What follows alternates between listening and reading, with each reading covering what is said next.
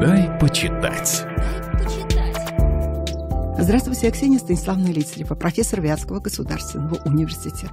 Не случайно в русском языке есть два абсолютно противоположных понятия – пища духовная и пища гастрономическая. И все самые гениальные, выдающиеся наши поэты и писатели питались не только возвышенными мыслями, но и в силу своей человеческой природы были вынуждены регулярно употреблять еду. Вот и книга Елены Первушиной «За столом с Пушкиным» поможет нам узнать, чем угощали великого поэта о любимых блюдах, воспетых в стихах, высмеянных в письмах и эпиграммах. Пушкин и кухня XIX века. Здесь много любопытного и неожиданного. Например, мы узнаем о кормилице Пушкина Ульяне, о том, что Пушкин, по воспоминаниям старшей сестры Ольги, до шестилетнего возраста не обнаруживал ничего особенного, напротив, своей неповоротливостью, происходившей от тучности тела и всегдашнюю молчаливостью приводил иногда мать в отчаяние. Достигнув семилетнего возраста, он стал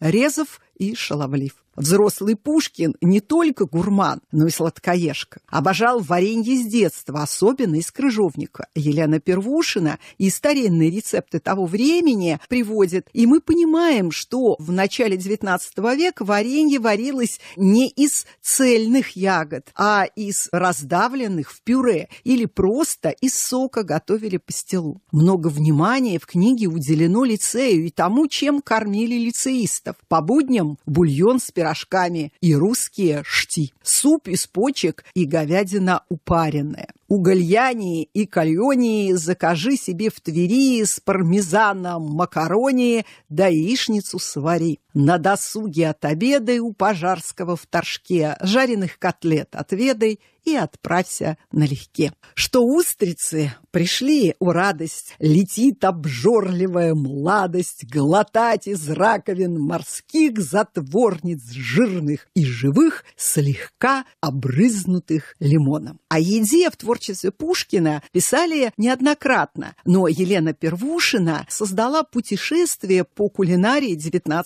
века. Здесь множество ссылок, факты из биографии, а главное большое количество подлинных старинных рецептов. К сожалению, в книге есть опечатки, но это не помешает нам попробовать телятину с крыжовником по-саксонски или парфе из орехов и многое другое. 16+.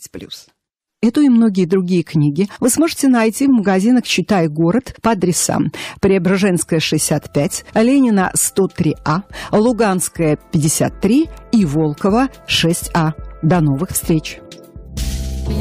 Дай почитать.